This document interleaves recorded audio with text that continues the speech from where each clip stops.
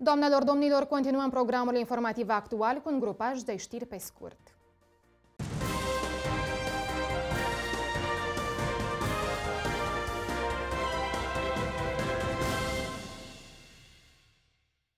Un moldovean în vârstă de 36 de ani a fost arestat de poliția din Vicența, Italia. Bărbatul este acuzat de răpirea unei persoane și are de executat o pedeapsă de șapte ani de închisoare. Potrivit organelor de drept, fapta a avut loc în anul 2015 în Republica Moldova, iar pentru a scăpa de pedeapsă, acesta a fugit în Italia. Acolo individul și-a găsit un loc de muncă fără să știe că este căutat de Interpol. Acum câteva zile, făptașul a fost reținut și urmează să fie extradat în Republica Moldova, unde își va ispăși pedeapsa.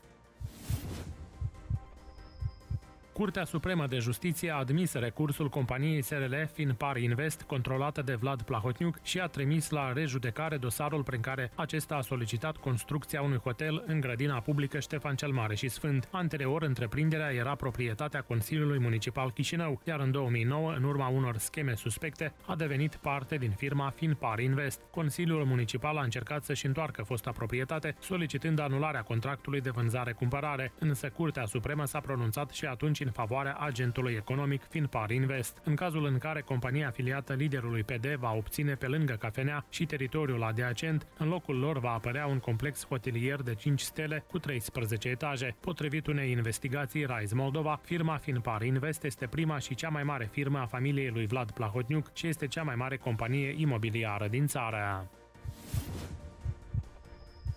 Ambasadorul României în Republica Moldova, Daniel Ioniță, a oferit 1500 de volume de cărți pentru deținuții unui penitenciar din capitală. Donația a avut loc în cadrul unei întrevederi cu viceministrul Justiției Anatolie Munteanu și reprezentanții ai Departamentului Instituțiilor Penitenciare. Participanții au discutat despre cooperarea în domeniul justiției, dar și despre experiența țării vecine în dezvoltarea sistemului penitenciar. Volumele clasicilor literaturii române și universale vor completa biblioteca penitenciarului Prun Pruncul din Chișinău, unde își ispășesc pedeapsa 700 de condamnați. În același timp, până în anul 2020, Ministerul Afacerilor Interne al Moldovei planifică să investească aproape 50 de milioane de lei pentru îmbunătățirea condițiilor de detenție a infractorilor. Banii sunt necesari pentru a crea condiții mai bune în izolatoarele de detenție preventivă și pentru achiziționarea autospecialelor pentru transportarea inculpaților.